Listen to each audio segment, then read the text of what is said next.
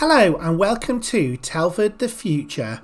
And today we are taking a look at a planning application from the Vistry Group for the Hem area of Telford.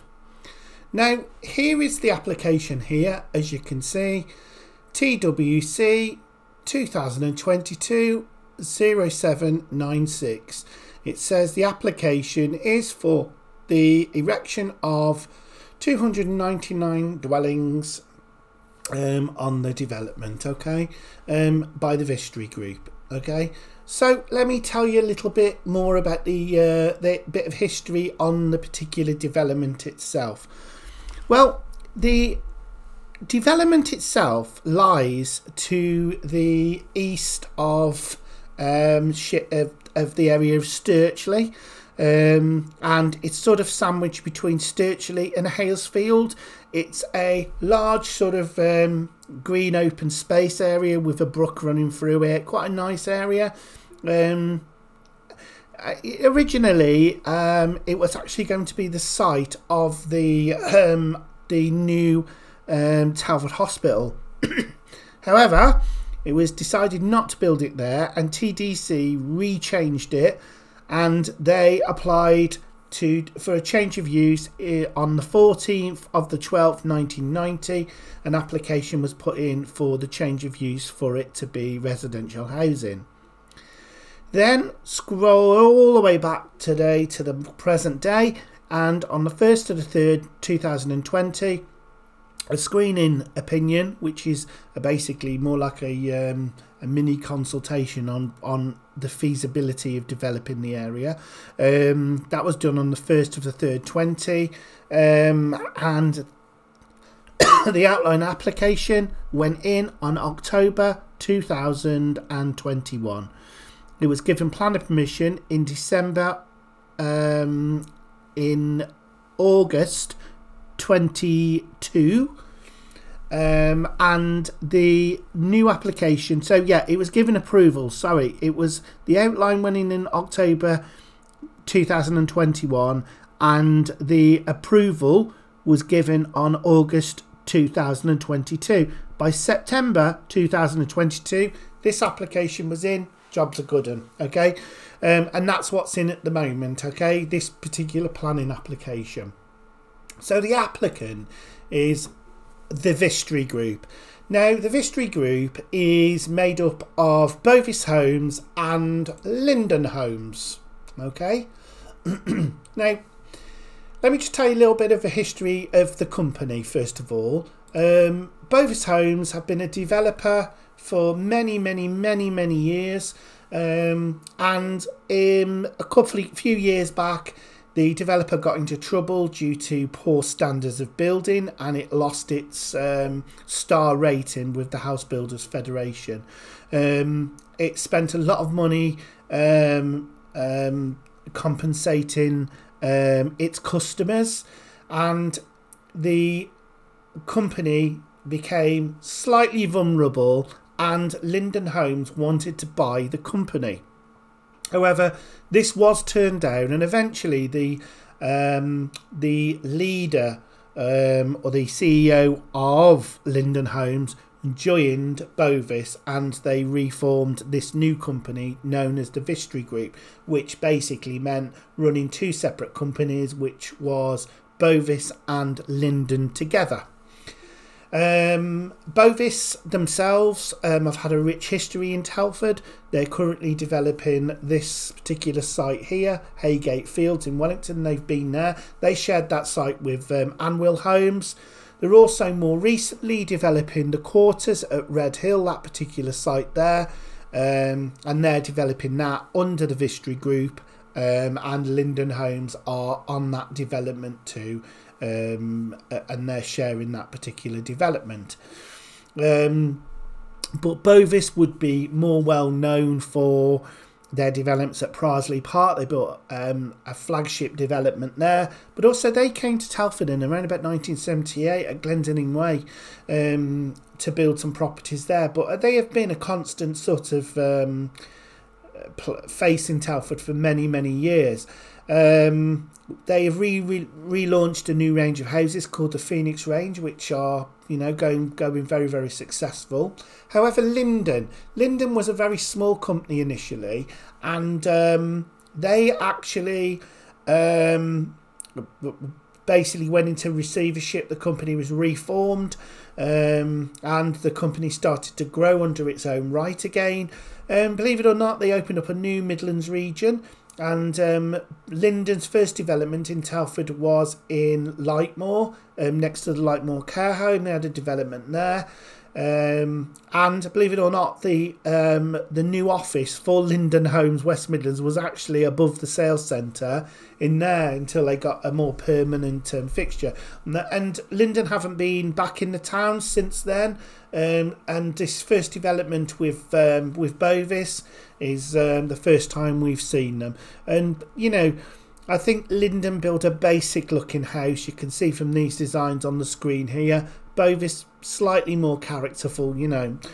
Anyway, let's um, let's take a look at, um, at at the proposals for this site. So I don't know if you remember, um, back in 2020, I created this video um, based on the outline planning application for this particular development, and um, back right back in the day, um, it, the, the the original application was for um, originally 350, 350 plots um, with five parcels of land. Um, there was a very brief illustration on what the houses would look like, um, and I think in a way they've actually um, stayed true to that. So if you haven't seen that video, then the one that's on the screen now, I would recommend you probably go and have a look at that. I'll put a, li a link in the description box. Um, anyway, um, you can it, it, it some great drone footage on there, and it really does show the characteristics of this particular site. Um, I mean, in terms of constraints on this site, we've got the Nedge Lane running right the way through the development.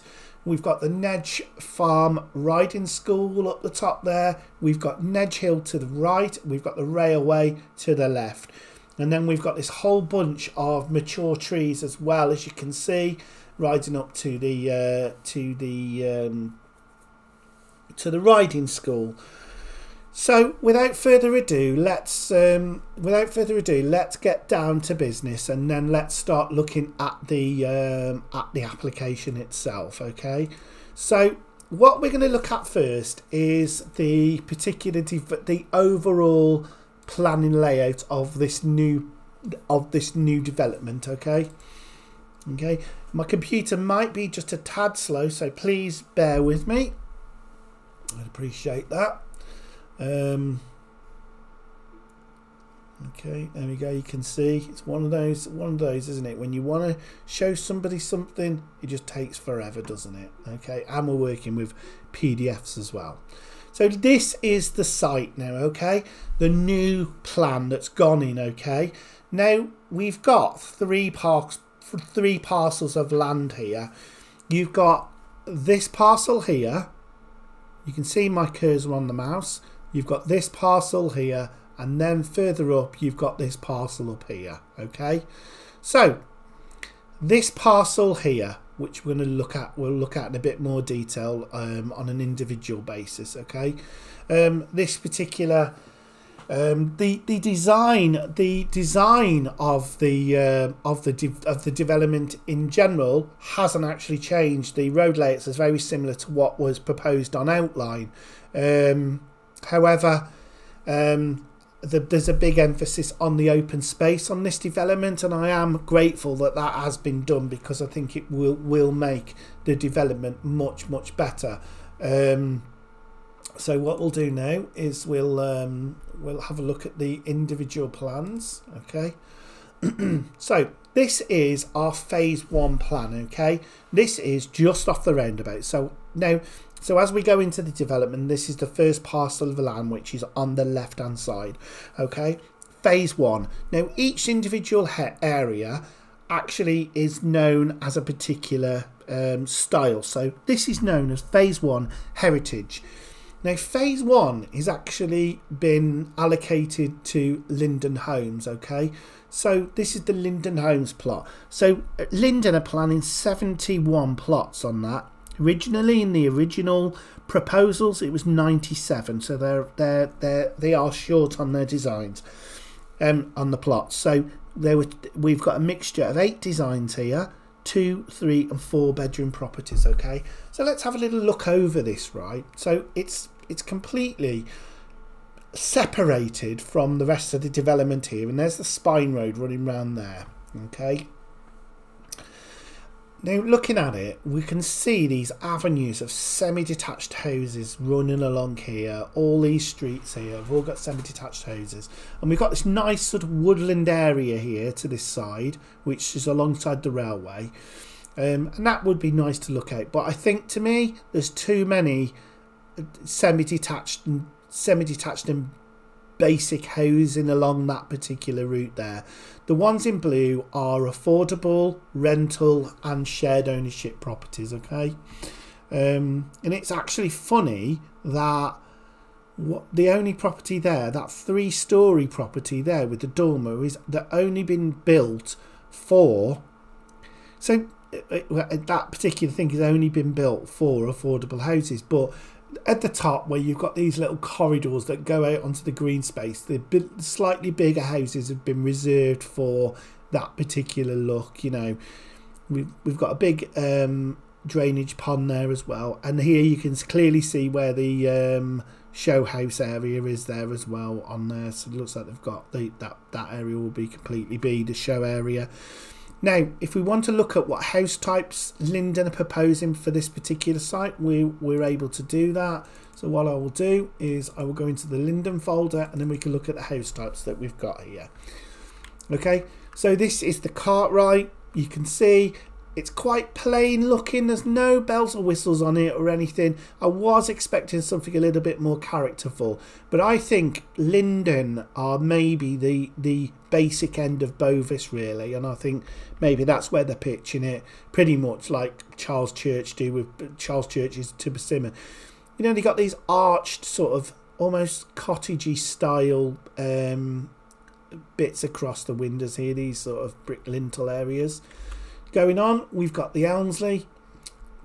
Again, simple enough design, isn't it? Nothing that really... And this is obviously a whole street is going to be full of these. The Knightley, which is a larger house, but again, it's just not...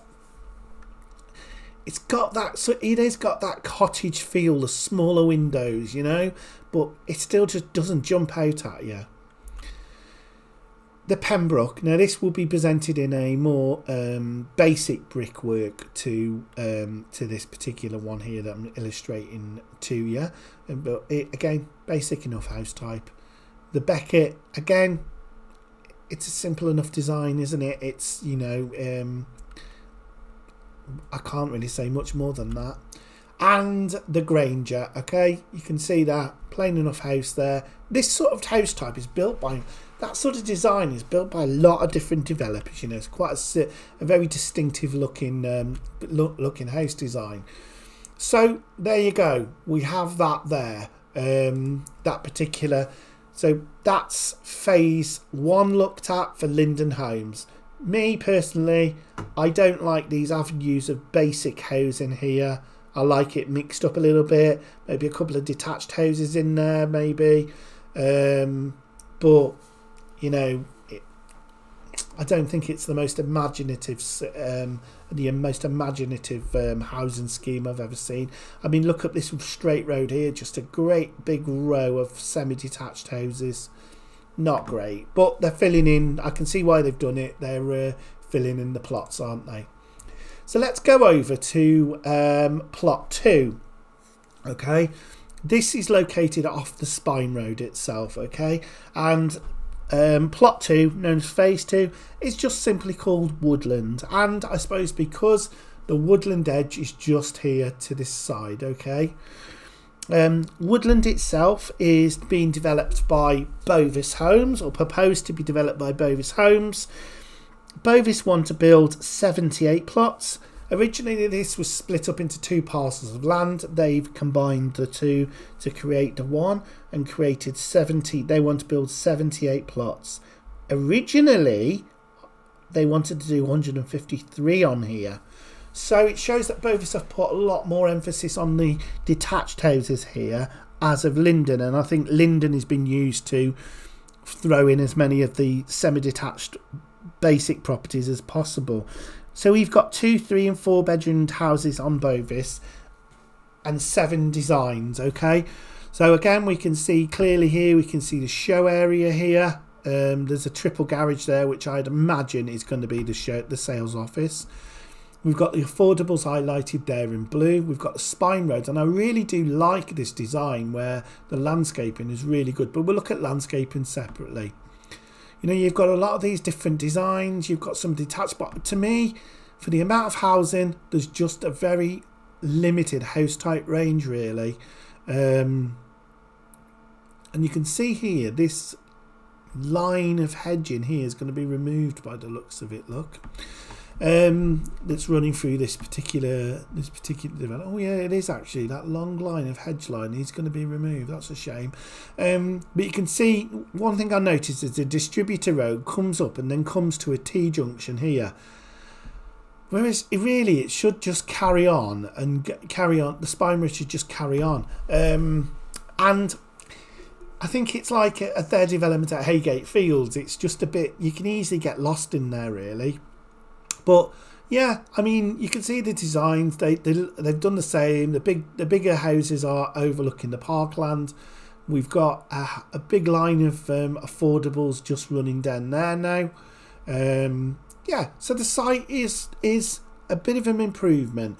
We've got this here, this this what you call a feature corner. So we've got three story houses here on that corner, creating the the um, the effect. Um, as you come in there. They're called sort of character corners, aren't they? Where you where you come in. Same as here, you have key uh, on the entrance of a development. You have symmetrical key house types. Um, same here. Look, you see as you as you go in. I mean, so I think we better just look at um, some of the house types that um, that Bovis are proposing, perhaps potentially. So let's just go into here and have a look at the Bovis house types. Okay. So one of the house types here is the Alder.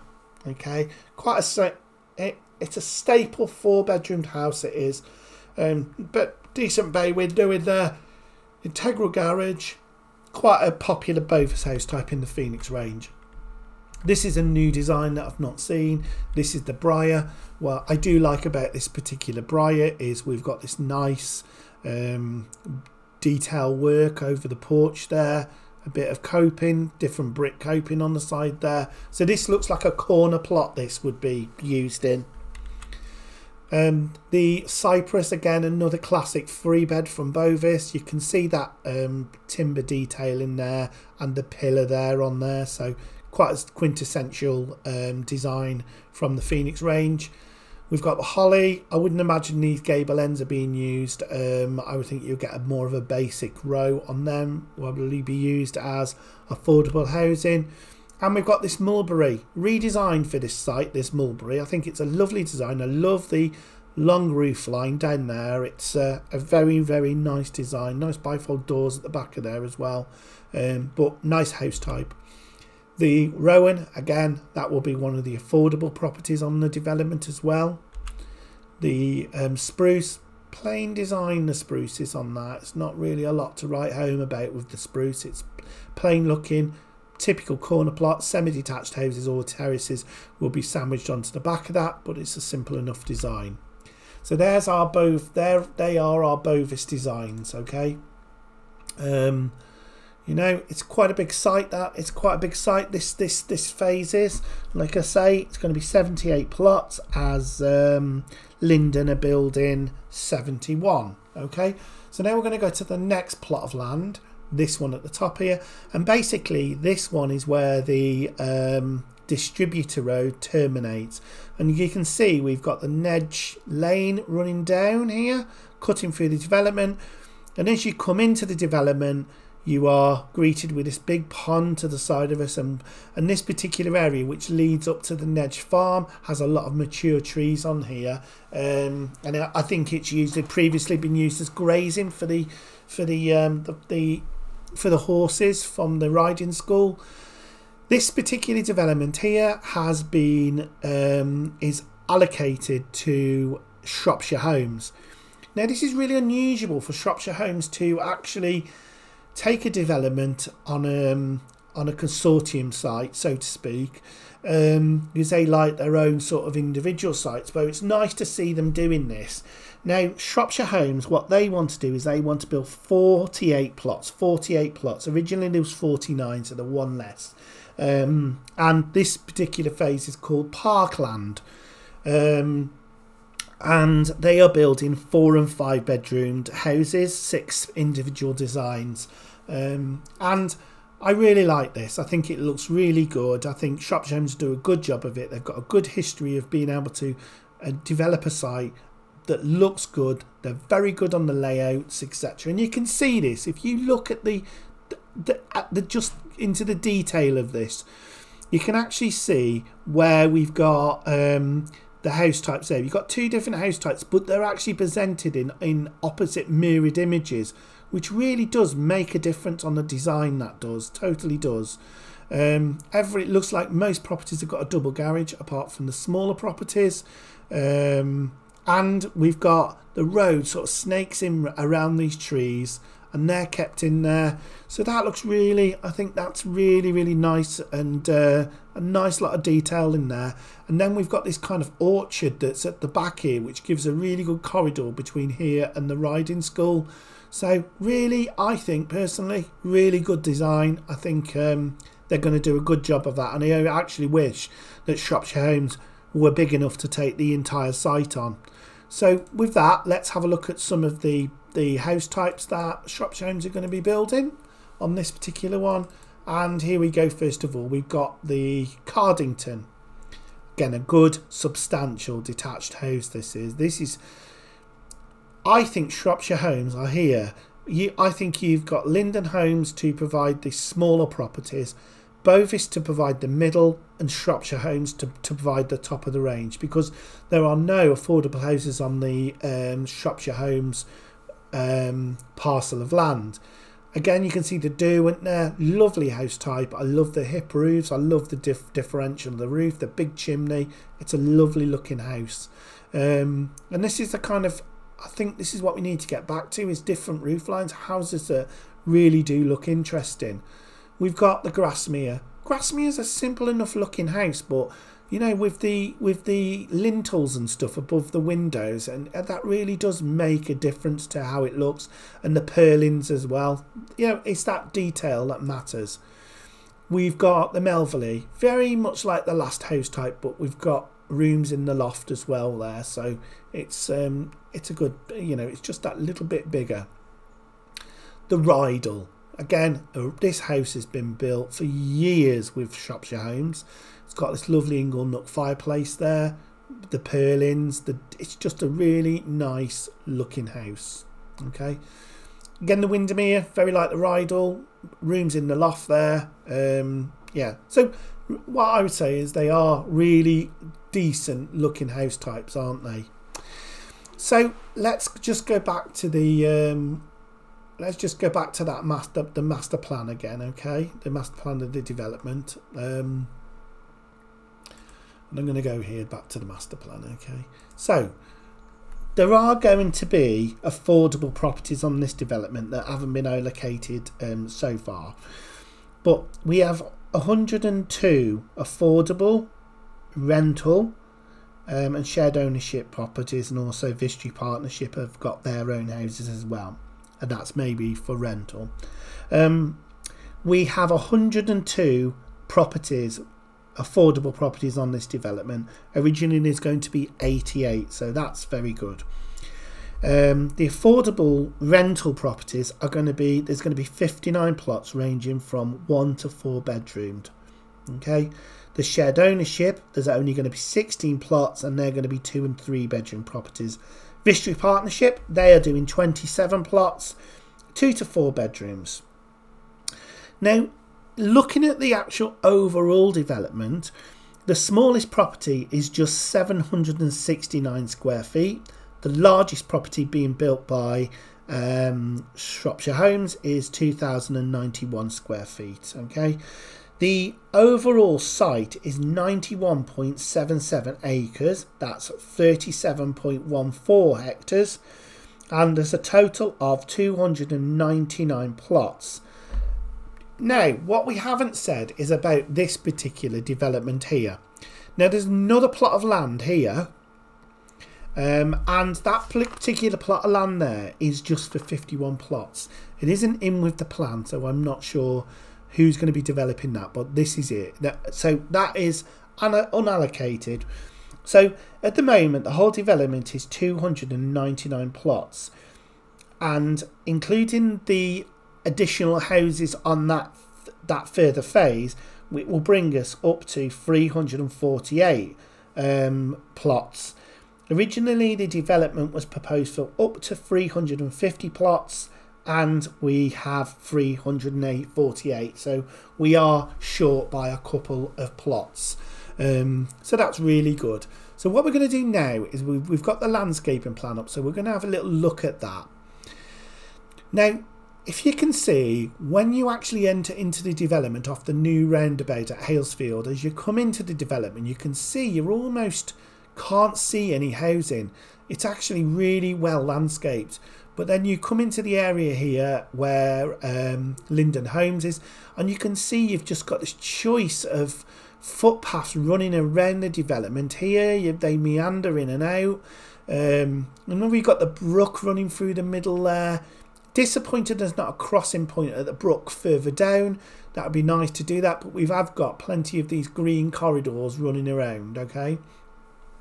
Over here, we've got a play area here next to the Bovis site, um, and we've got um, all these all these drainage ponds. So we've got um, one, two, three, four.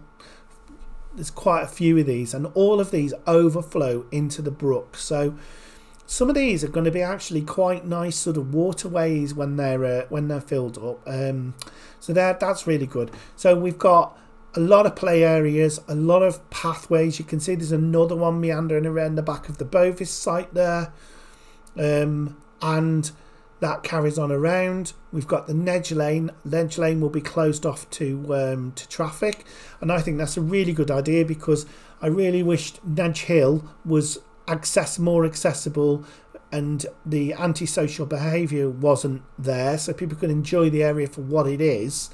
Um, the Bovis, the, the Bovis area obviously comes right up here. You've got this MUGA um, and play area here um, down the bottom here and also this looks like a BMX track of some kind just there. The, the Shropshire Homes part of the site here which is really laid out well You've got an a community orchard at the top there, and then you've got these meadow areas. Now, there's going to be a lot of these meadow areas here. Now, let me just explain what they are.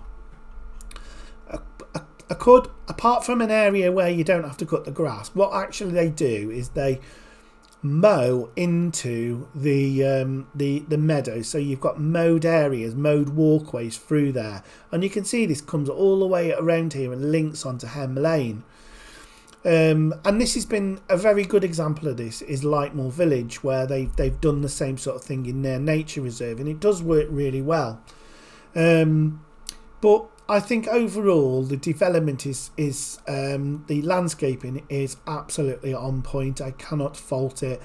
I just feel that I would like a little bit more imagination from the Linden development really. I mean surely we're in we've got to a point where we should be building things that actually people go that's really nano really you, it, this was the perfect opportunity to do something different and what we've getting is just a standard housing estate that you could find anywhere who is who is to blame for that is it our planning? Is it the planning in the local council? Are they just not imaginative enough? Do they, you know, have they been to other, other areas such as Milton Keynes, Cambridge, and seen what other people are doing? Have they even been to Graven Hill and seen what what what's going on there?